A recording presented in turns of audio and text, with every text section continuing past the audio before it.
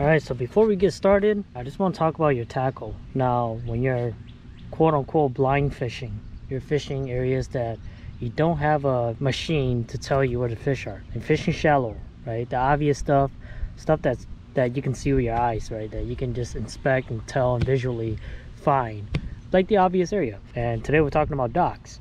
Now the three lures that I always have on my deck here a Senko, Wacky Rig Senko. Black and blue is like my go-to color. If not black and blue, then black and red. So swim jig or flipping jig, doesn't matter. It's because I fish this lake often. I can get away with the quarter ounce, but if you're starting off, I say go with 3 8 ounce. That way you can like practice uh, skipping. It's a lot easier to skip with 3 8 ounce.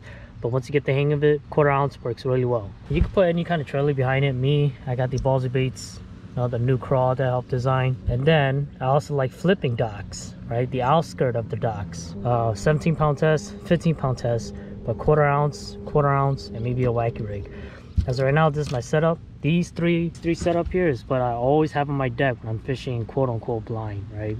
Skipping docks, flipping laydowns, flipping weeds, like weed lines that you can see, and having a pair of polarized having a pair of polarized helps a lot too okay it helps you identify like what kind of vegetation you're working with what kind of laydown how far the laydown sticks out um, the pole right the structure of the the dock itself so having a pair of these does make fishing a lot easier. So yeah enough talking. Let's get to fishing because i'm itching to set some hook. Stay tuned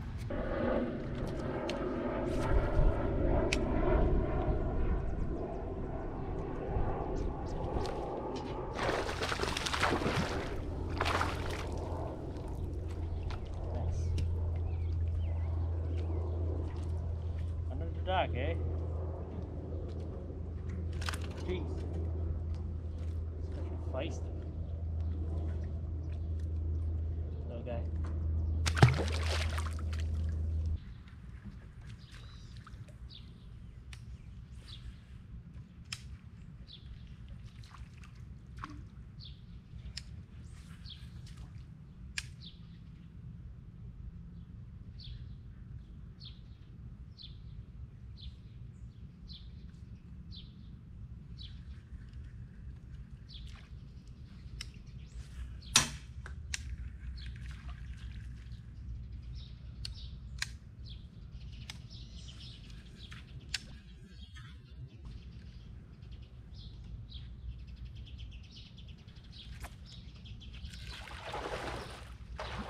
Big one. Big one. That's a big one. That's a big one.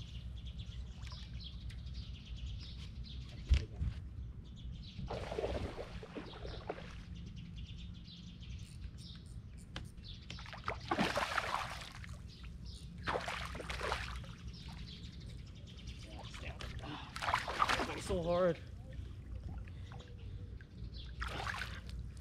That's a nice bass right there. Yeah. Holy cow, dude. That's a nice bass. I'm putting him in the wild for pictures. Look at that thing right there. That's a nice bass. Gosh. Dock fishing, baby. It's a good start of the day. Man. Awesome start of the day. All right, so I guess I'm gonna talk to you guys before it gets too uh, windy and busy. Um, like, what am I doing today, right?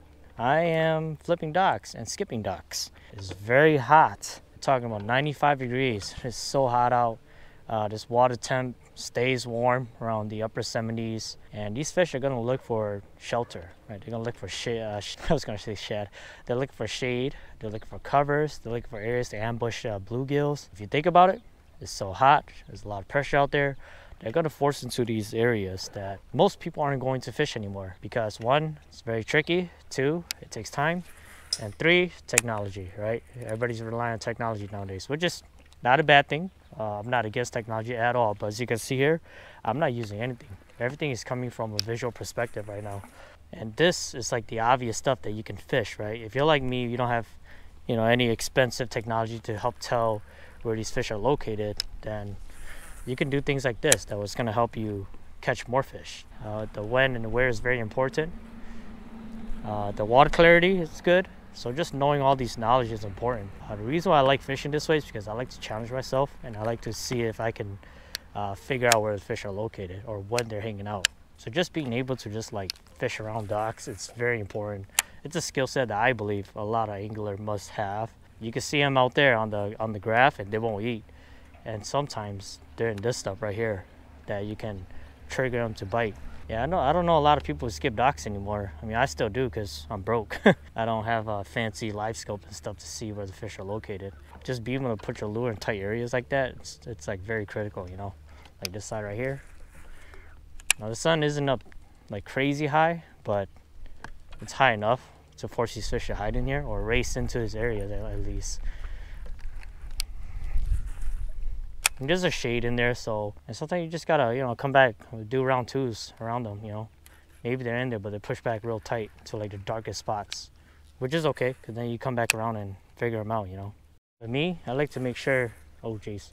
But me, I like to make sure I target every single angle of the dock. Like I don't race to go to the next one at all. Why? Because the bass could be hiding in one of these squares. And there are times where I hit up every single one of them and they're right at the last one. So you just never know, you know, you got to give it time. And you know, when I'm targeting a dock, I like to come from the outskirt of it, like as far as I can, as far as I can reach it. I like to fish right on the outside first before I start digging in. Because sometimes putting a bait on the outskirt, the more aggressive one will come out and grab it, land that one, and go back and flip in there, and there's another one. And you know, flip skipping the bowl away is a little harder, but I like to do it because I like the fall of it. So having an even spool is very important guys. That way you can flip and cast accurately I have about like 50 yards left in here. I'm gonna take it all out and re-spool it. Some new line if you're wondering i'm using 15 pound test fluoro, no stretch. I'm flipping 15 pound test at least.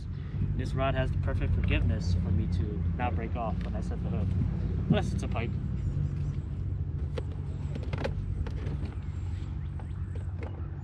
limited on time because these uh, watercraft people are going to start coming out soon. As they already are. you hear them. There are two things that bass fishermen hate the most during the summer. Mosquitoes and those people out there. uh, they just wake all day long, man. I'm tying on a quarter ounce tungsten flipping weight with a 3-aught Gamakatsu. I'm using a Okuma DTR Custom. These are my all-time favorite rods. Like I've been using these for two seasons now. It's a medium rod. It's great for plastic because you kind of don't want to like tear the hook or the plastic out of the fish's mouth. So uh, that softness uh, from the tip does give that forgiveness, but the backbone is like perfect for you to you know, stick them when you need to. Now, should I be skipping dock with this rod? As a starter, no. You want to go with something shorter like a 6'10 or 7 foot, uh, medium heavy, that way you can drive those fish out. But just, you know, from my experience, I've been skipping dock for a while now. Um, I like the challenge of like that forgiveness when I flip that bait in there, not necessarily skipping it, but like flipping it under the dock, swinging under the dock, and it'll fall really slow. Uh, that quarter ounce allow the bait to fall a little slower than normal, that allows the bait to stay in the strike zone a little longer and that forces the fish to like just check it out and pick it up. Um, you can go 3 8 too. Believe it or not I like going when I fish shallower than this I'll go 3 8 ounce because I like the bait just drop it instantly hitting the bottom. Those bass will just pick it up right away. Uh, but slow fall on deeper docks for some for my experience it works a lot better. So yeah let's see if we catch some more bass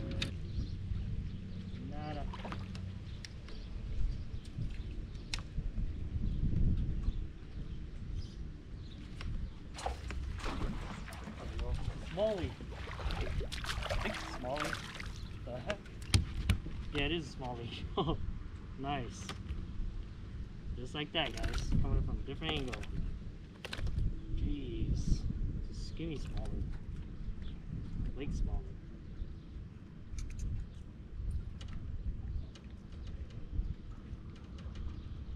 Nice. A Little skinny guy, but still fun.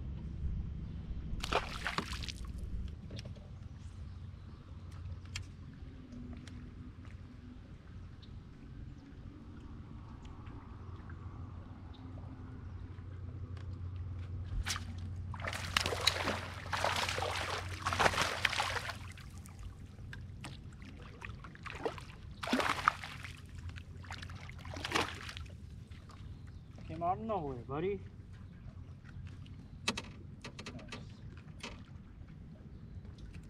Nice. Took me by surprise.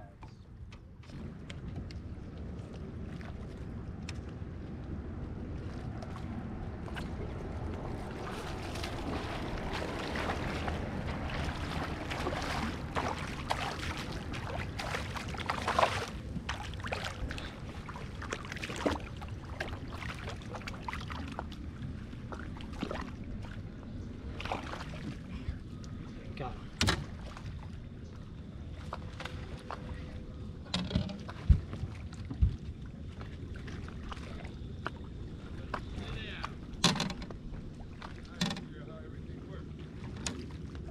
I'll let him go. It's not that big.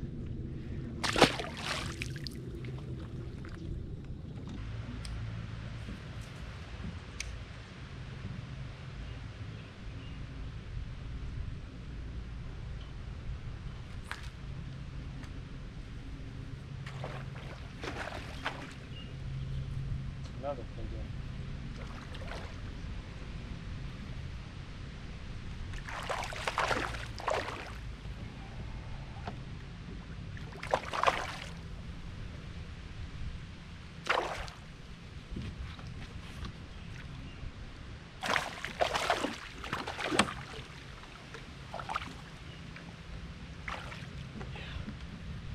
Go. That's a nice one. Put them in the well for now. For pictures. The hook set though. oh, so awkward.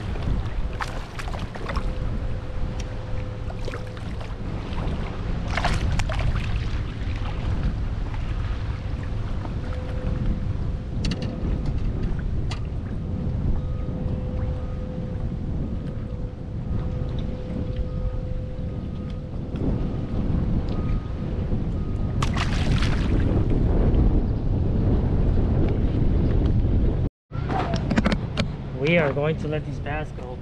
It's only been three hours, so. There you go. Nice bass. A three pounder, two pounder. Going back. Beautiful fish. Look at this big guy right there. See ya. Slimy as heck. Um, I'm gonna go and fish the swamp area for a little bit. I don't know how it's gonna go, but man, this wind came out of nowhere, and yeah, it kind of messed up the pattern that I did want to fish. It's just too windy over there, so we're gonna go find some calm area and flip some like laydowns and stuff like that. See what happens. Stay tuned.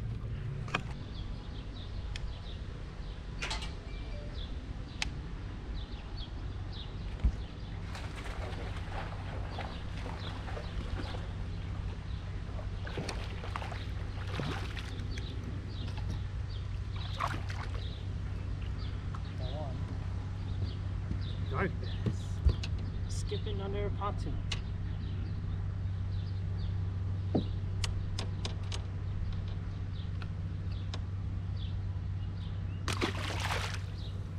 That's a wrap. I actually wanted to fish it a little longer, but the wind just picked up like crazy. I'm talking about 20 miles per hour wind. I have no idea where that wind came from. Just, it said 10 to 15, which was doable, but out there was just white caps and it was getting rough out there. So the point where like my cheeks was hurting, you know, because the wind was just beating on my face. Yeah, I think that's it. I hope you guys enjoyed this video. Hope you guys learned something today. Again, I have nothing against electronic. I'm just trying to teach you guys ways to fish and catch fish without expensive gear, right? As you guys saw while I was fishing up there, I had nothing up there, okay? My, my electronic up there is actually broken, so I just kind of left it there and haven't like taken it out. But I was just, you know, visually fishing. I was visually fishing, just searching, destroying, flipping plastic, uh, throwing random stuff uh, around docks and all that, and seems to be working. So with that being said, if you guys enjoyed this video, hit the subscribe button, leave comments down below, hit the thumbs up, and I'll definitely do more videos just like this. Until then, I'll see you guys next time.